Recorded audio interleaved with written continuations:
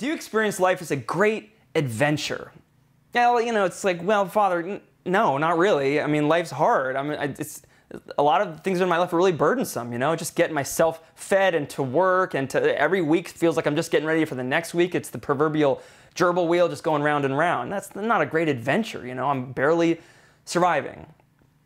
The other week, I was uh, visiting a parishioner where I'm pastor, and I was actually asking him if he would participate in this big project we were working on, if he would uh, make a, a significant financial donation.